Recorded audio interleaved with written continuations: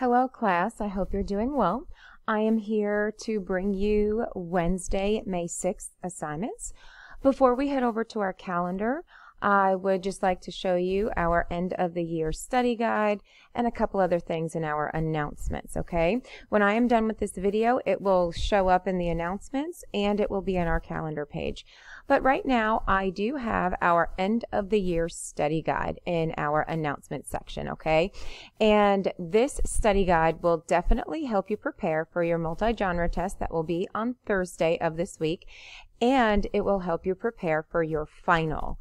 It is three slides in here, okay? So if we expand that, we see right here that we have um, our first slide, second slide, and our third slide. Look at me telling you to do your best and rock the test, okay? Because I know you guys will do fantastic. So definitely go over all of these concepts and ideas, and um, it, you will be prepared for your Thursday's multi-genre test and your final exam as well. Okay.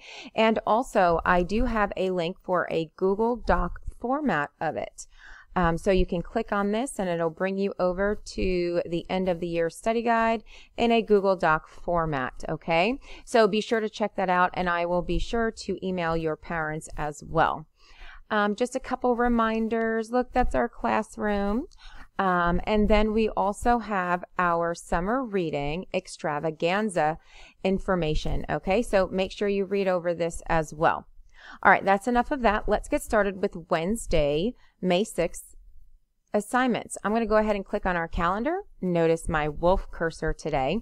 It's definitely going to connect with your poem that you'll be reading for Wednesday. Okay, so here we are in our calendars.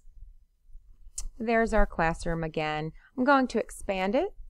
And we have our uh, first slide. There's Monday slides and links, Tuesday slide and links, and over to Wednesday. Today or on Wednesday, you will continue with poetry and you will continue to analyze and evaluate its meaning. On Wednesday, you will read a poem called Wilderness by Carl Sandburg. Um, the video that I'm currently recording will obviously go over here. Okay, let's click on fourth period Google Classroom. And let's take a look at our assignment for Wednesday, May 6th. So it's for your wilderness poetry analysis.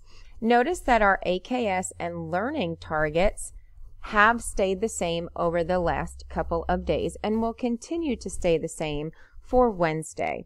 We are continuing to work with poetry and analyzing and evaluating its meaning. So your learning targets for Wednesday are I can cite extensive evidence to support thorough analysis of a text. I can evaluate and summarize complex themes or central ideas. I can determine the effectiveness of words and phrases in a text. I can analyze and evaluate the impact of rhymes and other repetition of sounds on a specific verse or stanza of a poem or section of a story or drama.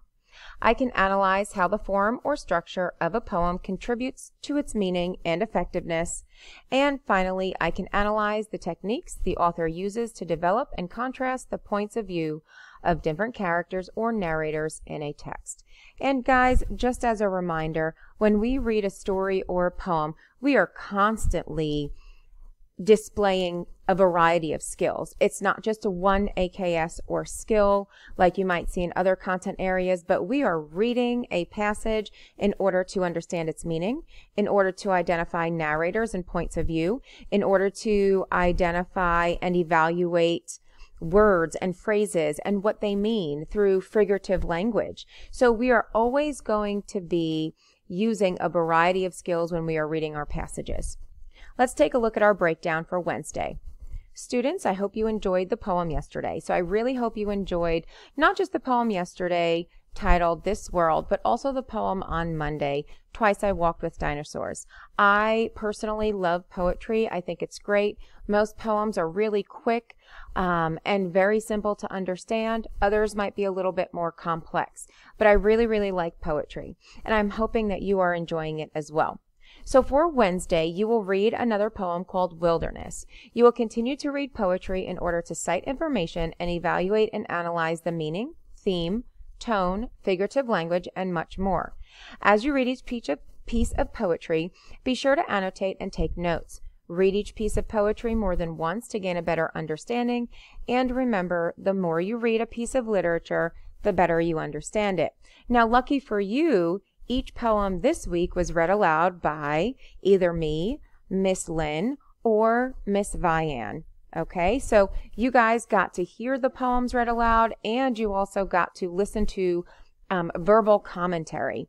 In addition, we also gave you some review videos. So you were able to listen to me, Miss King, Miss Vian go over the questions and answers. Um, and obviously you haven't heard that for wilderness today, but you will.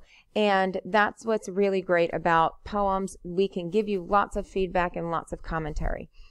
Okay, so here are your step-by-step instructions. So as you read Wilderness, you will focus on theme and much more. Think about how you connect to the poem, just like how the speaker connects to the poem. So your first step for Wednesday's assignment, you can review Tuesday's assignment. So it is not required, but it is suggested to click on the answers to this world right here.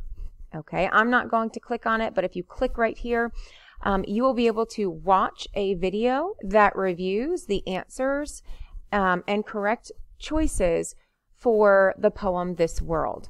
I think it's a really great opportunity to view that poem and the answer choices so that you can better understand it. For your new assignment for Wednesday, you will read the poem Wilderness by Carl Sandburg. So you will click on this right here on this document. So let me go ahead and click on it for you. So here's the poem Wilderness. Be sure to read it over, not just once, but several times so you can understand it.